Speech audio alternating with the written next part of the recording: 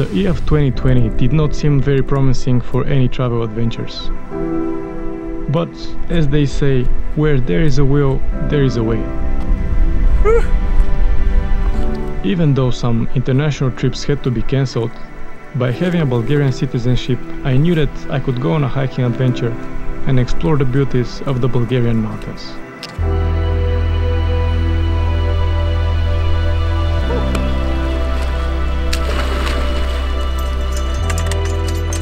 Luckily, out of the 12 trans-European hiking paths, there are three of them that are passing through Bulgaria.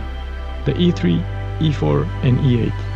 The E4 section in Bulgaria, also called the Five Mountains, is 260 kilometers long, and as the name suggests, it crosses through five different mountains, starting from the capital Sofia through the mountains of Vitosha, Verila, Rila, Pirin, and then Slavyanka ending at the border with Greece.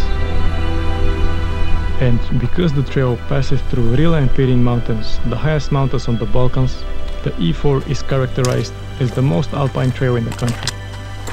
That definitely seemed like an adventure I didn't want to miss out on, and at the same time, it was also a chance to get to know the country I grew up in. Only that the mountains with their unpredictable nature had some surprises planned along the way to spice things up.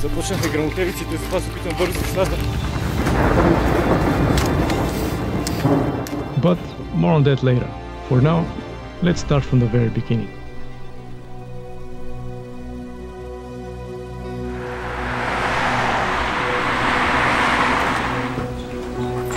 Before I could even start hiking, first I had to buy a gas canister as soon as the stores opened. From the ring road at the outskirts of Sofia, I headed up to the Dragalevci neighborhood, where the trail officially begins at the Ibex water fountain. Soon after that, the trail climbed up away from the city, entering into Vitosha Natural Park, which is the oldest national park in the country.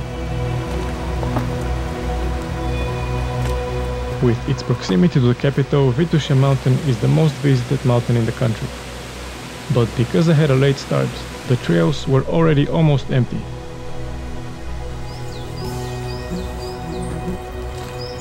For a change of scenery, I continued on the trail under a no longer working chairlift on the lush green and more direct trail.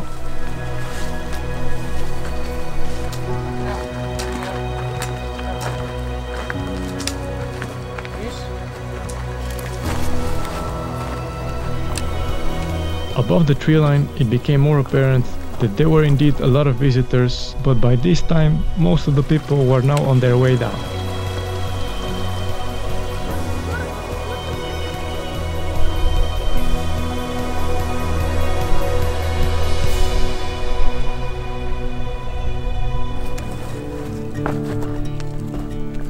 After Vitosha's highest peak, the trail became quickly void of any people and it's also where the first blisters began to appear.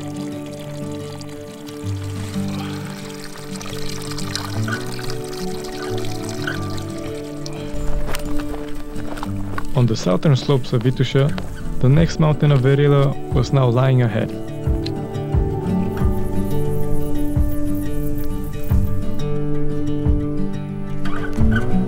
Hmm. Слон Смило вече трябва да е много наблизко. Arriving at the shelter for the night, the water source had already dried up by the end of August, so I continued along towards the next shelter.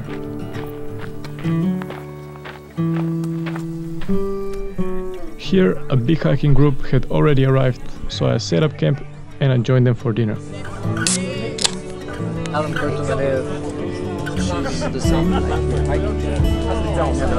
Only later did I realize that I had set up camp way too close to the party. Well, lesson learned for next time.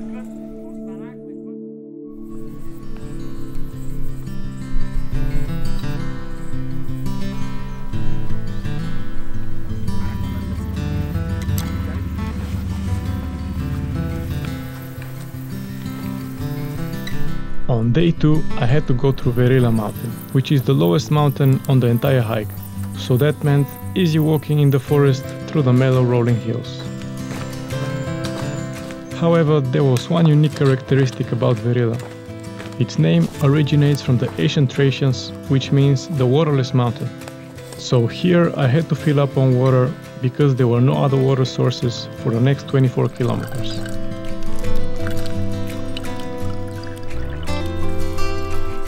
And here, for the first time, I met a group of young hikers that were also doing the E4.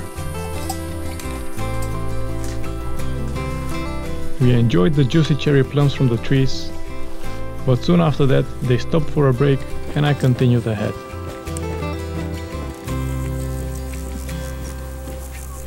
Hey, hey,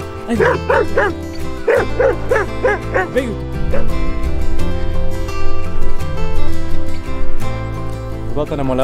Още един час до селото.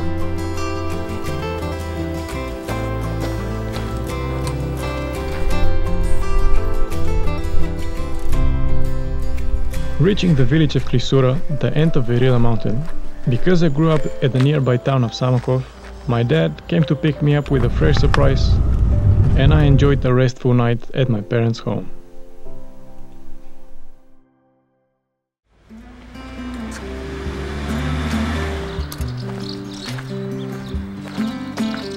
Back in the village of Klisura, I was now entering into Rila mountain, the highest mountain in Eastern Europe.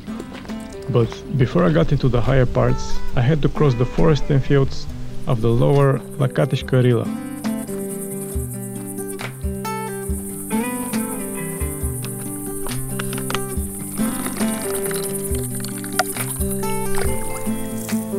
And here for the first time I had a closer glimpse of the alpine terrain that was lying ahead.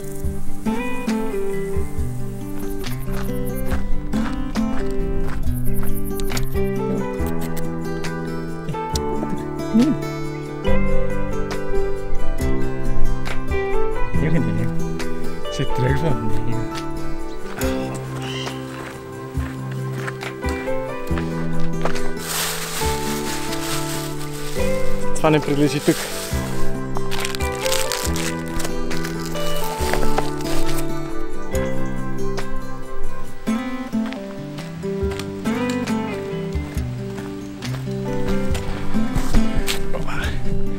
Вече навлизаме по горска пътека.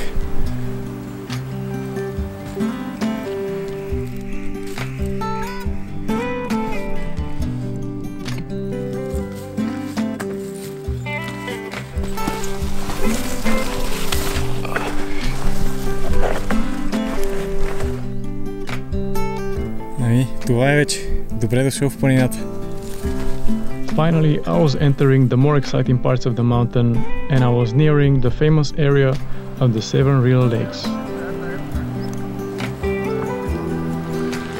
Even though I had a tent with me, one big advantage of hiking in Bulgaria was the amount of huts spread out through the mountains, providing food and shelter for the night, which can be especially useful when the forecast does not seem promising. I thought I could enjoy the views outside with a classic bean soup, but it quickly started pouring and I was forced to finish eating inside. Until the weather cleared up for the sunset and I had a cold spa session for the feet.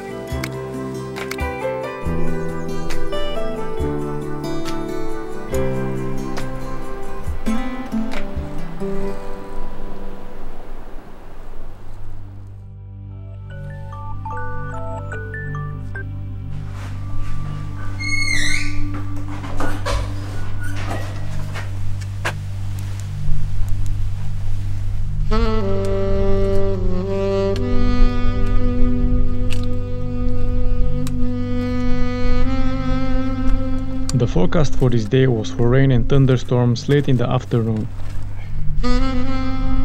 So if I wanted to reach my destination while being safe hiking high on the ridge, I had to leave early in the morning. And even though I'm normally not an early riser, these views in the morning are so much worth it.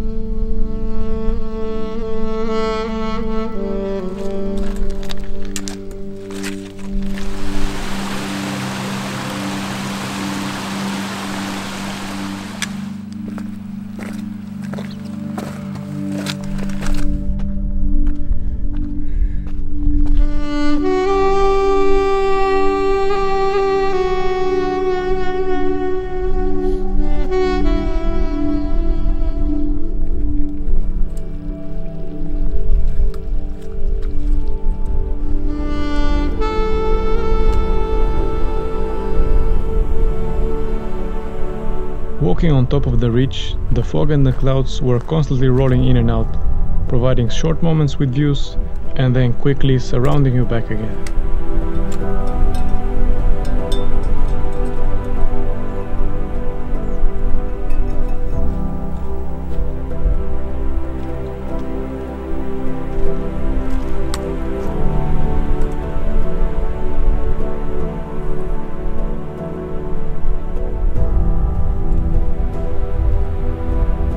Right after going over Malovica Peak, I had a choice to make to stay on the E4 on the marked trail down towards the hut, or I could take the alternative high route and stay on top of the ridge.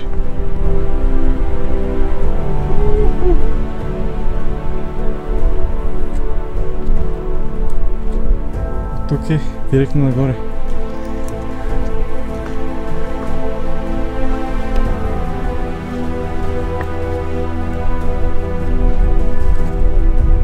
thought I still had plenty of time before the storm, so I decided to take the high route. However, the storm rolled in earlier than expected and caught me off guard right before the exposed Orlovets Peak without any places to hide. Връх Орловец. Сериозно завада. Започнаха грамотевиците, затова се опитвам бързо да сляза го заслона.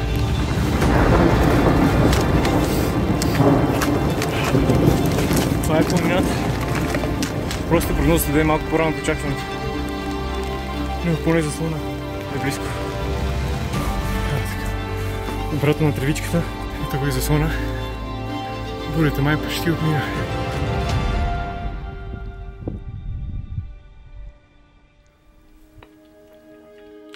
Проверявам прогнозата да знам дали да тръгвам или да изчакам още малко тук. Временно времето изглежда, че се оправи, но дават пак да вали по-късно. Това ще пробвам да стигам до заслон страшното езеро и ще преценя оттам след това какво да правя.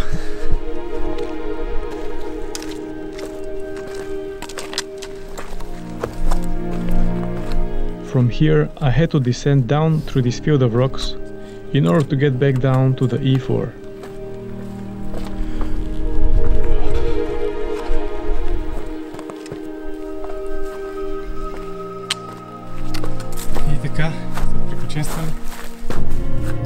отново се връщаме на E4. А, друго си е на маркирана пътека. Even though my original plan was to get further that day, I decided to get to the shelter at Strashntu Lake, meaning the scary lake, and to spend the night there. Soon after that, some more rain came in, so I was thankful to be at the shelter, protected from the elements at the heart of the mountain. Hello. Hello guys. Just here uh, we catch the storm. Oh shit. Yeah. We survived. Yeah, we survived.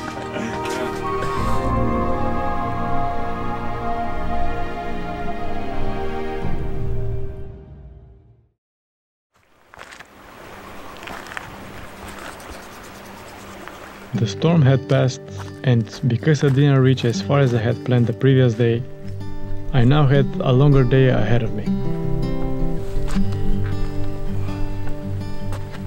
Vitosha mountain, from where the trail had started, was now away in the distance, and I continued further, hiking deeper into Rila mountain.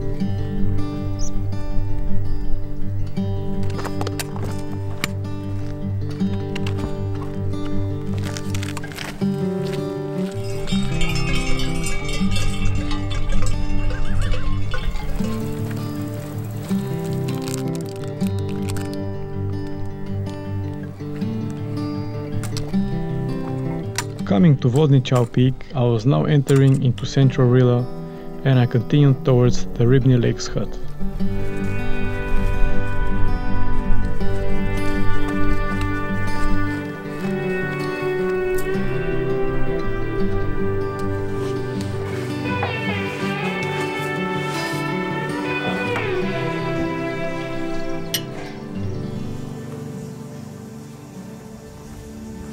If you have seen my John Muir Trail video, you know how much I enjoy going for a dip into the alpine lakes. So, passing by the Ribno Lake, it was no exception.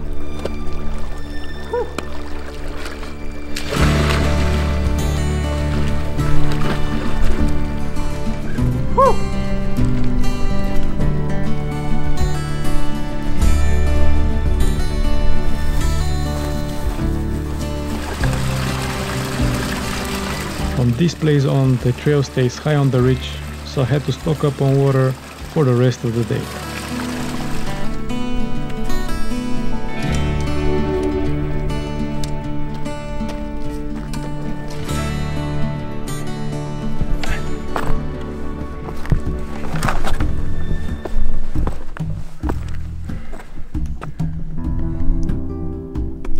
According to the guidebook, the following section on the ridgeline is the most technical terrain in Rila on the E4 simply because of the amount of rocks and scree that the trail goes through.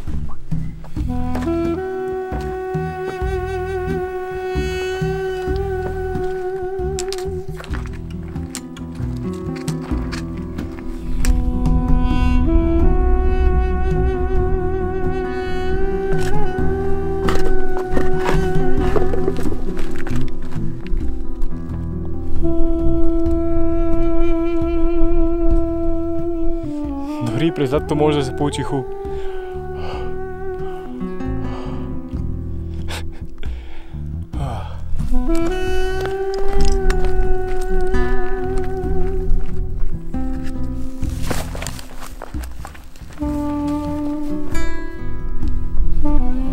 The feet and legs were already getting tired, but I had only one more peak to climb before reaching the final destination for the night. Към Ангел връх пътеката си права черта нагоре.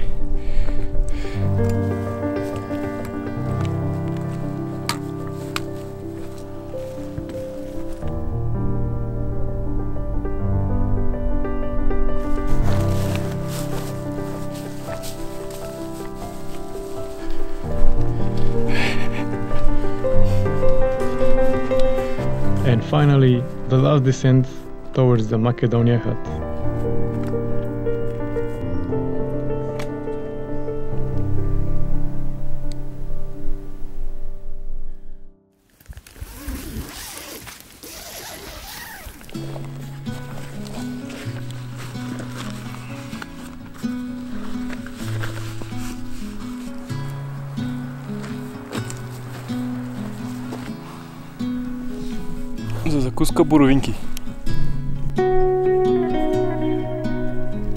From here, I was now entering into the southwest section of Rila, where the trail was mostly above tree line, though without any technical terrain.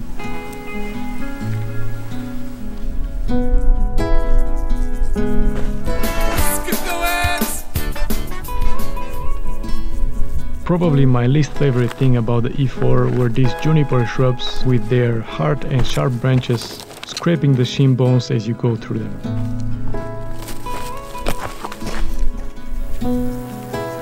The high peaks of Rila were now behind, and ahead was the Pirin mountain with its majestic main ridgeline.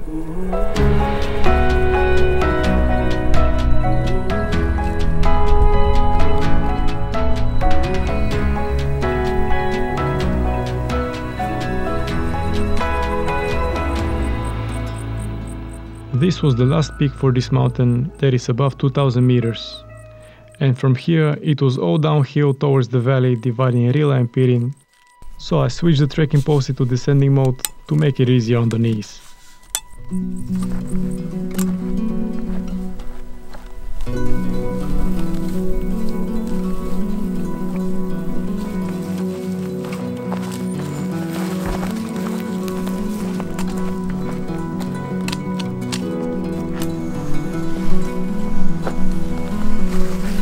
Българска планинска джунгла.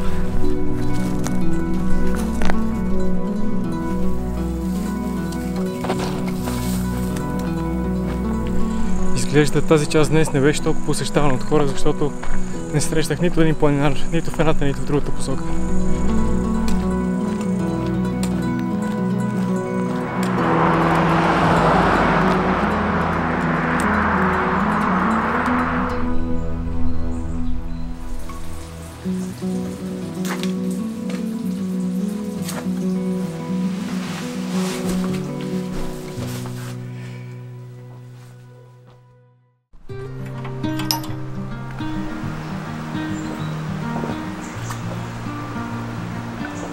From the Predela hut, there was a 3 kilometer road walk on the main road to Bansko Resort. until reaching upon this sign and then a little bit of more road walking on a quiet road before entering into Pirin National Park.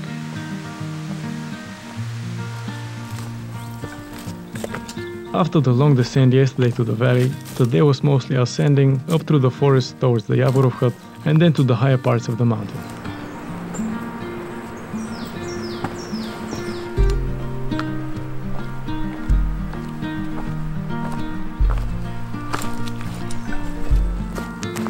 While coming from the backside of the hut, the dogs were busy protecting.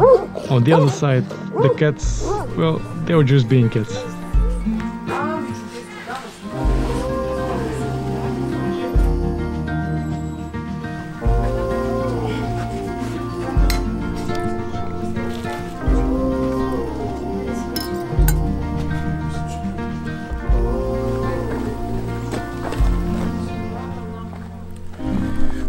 Обикновено днешния етап свършва тук на хижа Яворов, но понеже имам още време, реших да продължа към заслона кончето и да пренощувам там.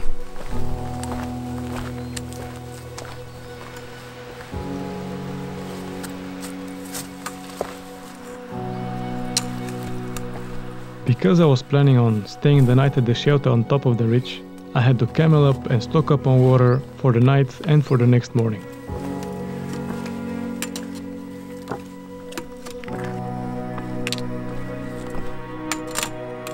Getting above tree line and on top of the ridge, I was now greeted by the beauty of Pirin. Wow. Wow.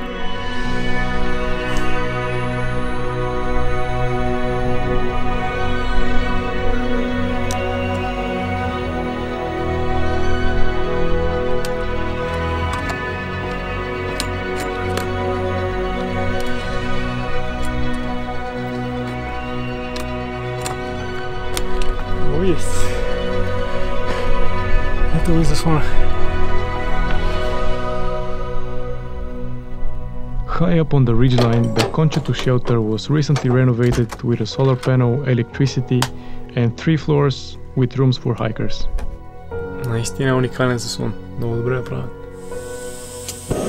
And from a completely empty shelter at the start of the night, soon after, a few other groups of hikers joined in to an almost totally full shelter. No.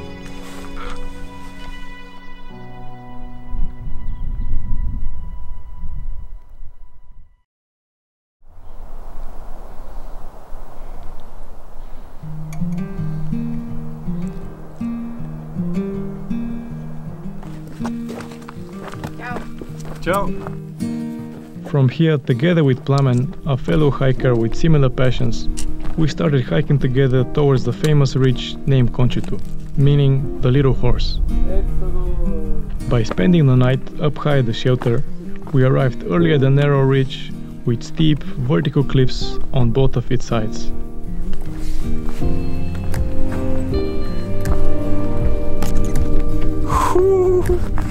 Тук трябва да се държи човек.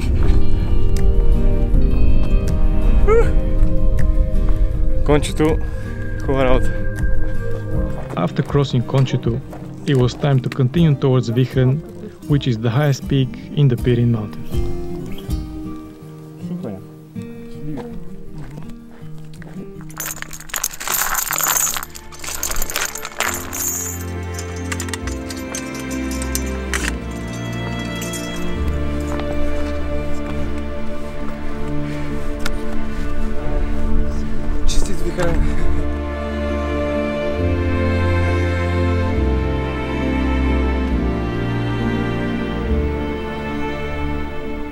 There was a long day ahead of me, so on top of Vihren we said our goodbyes. and I continued descending towards the Vihren hut.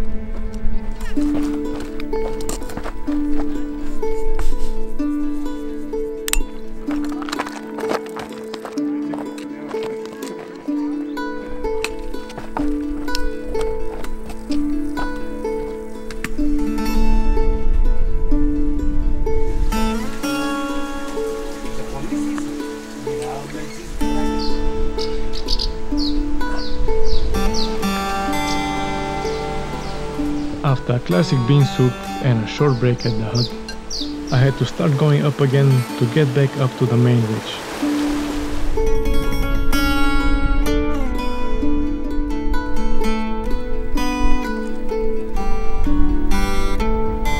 Approaching the ridgeline, the trail was again going through some rocky terrain, and even though walking through them was still slow, it was much better with the dry rocks and the sunny weather.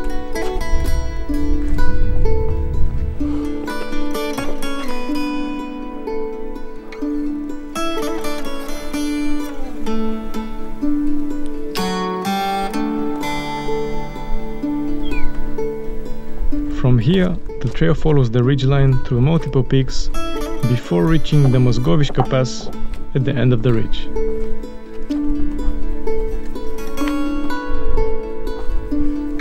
Нямам търпение да стигна до Тевно езеро и дано е разрешено къпането там.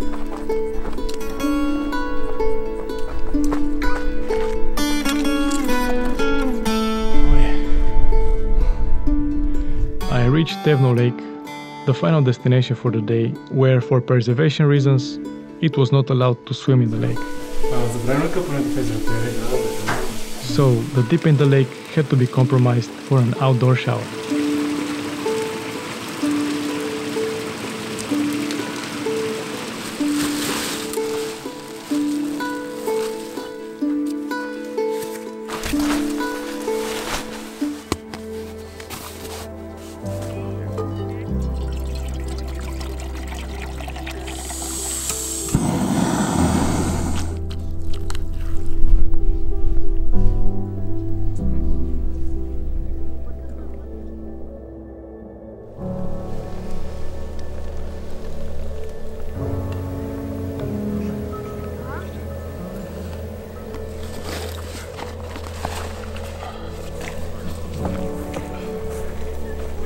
Tevno Lake, the trail then continues to a mountain pass, which is the last place on the trail that is above 2600 meters.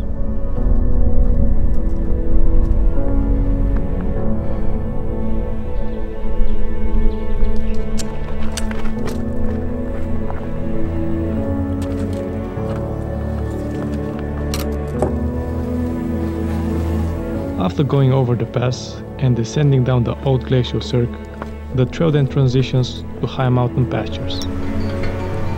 Here, the cows were the maintainers of the land and were mowing the grass low.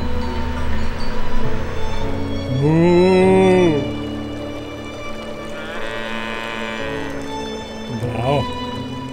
Lower down the trail, a shepherd helped us with directions. And I met one couple, Tetsu and Andy. They were also doing the e-flora.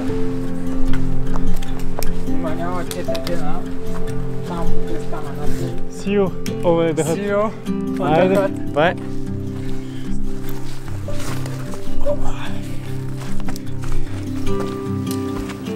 Down in the valley, the trail now enters into old forests with living trees that have been growing for multiple centuries.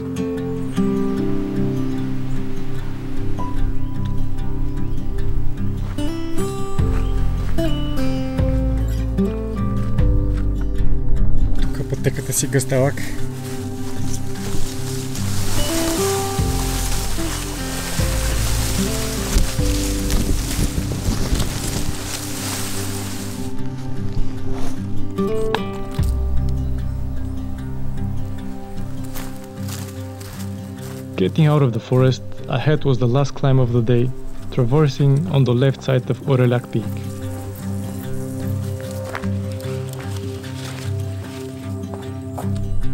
The high peaks of northern Pirin were now away in the distance, and ahead opened up views to southern Pirin as well as Slavyanka Mountain, the fifth mountain and where the E4 section in Bulgaria ends.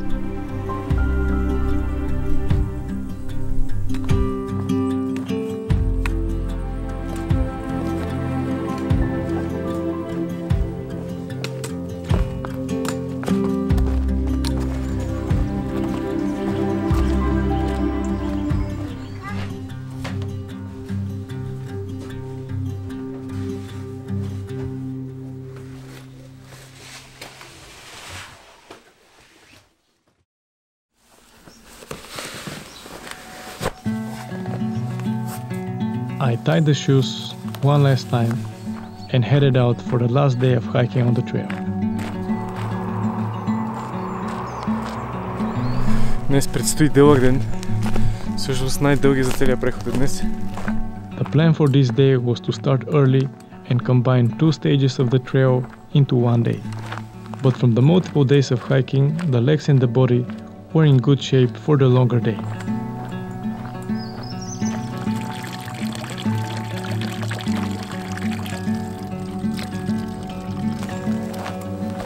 In southern Pirin, the entire section is on dirt roads, which made for easy walking and worry-free navigation.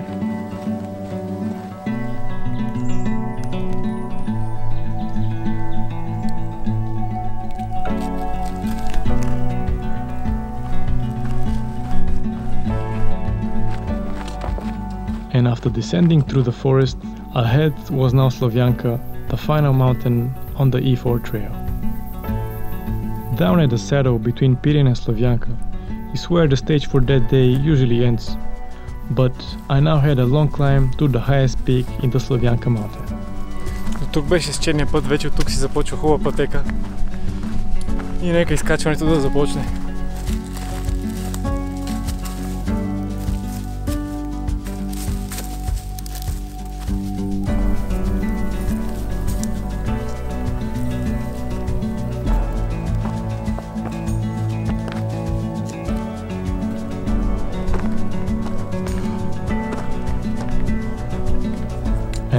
Climbing through the forest and coming up to the ridge, ahead was now the Bulgarian Greece border, as well as the final peaks for the E E4. Passport, please. Passport, yes. There you go. Welcome to Greece. Thank you.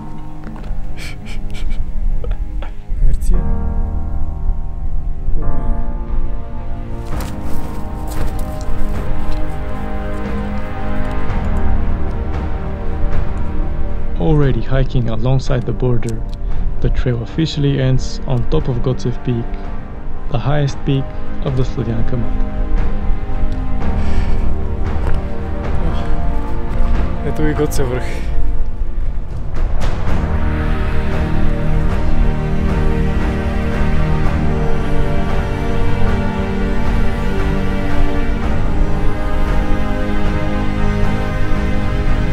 Това беше.